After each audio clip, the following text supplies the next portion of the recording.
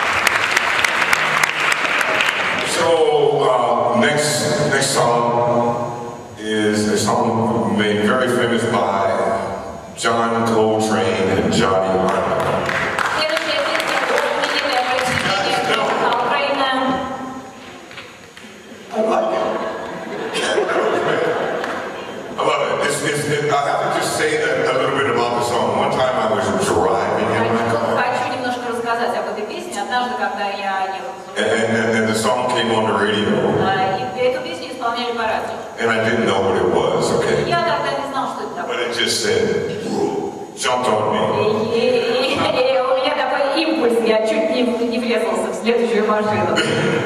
and here it is, once in a while.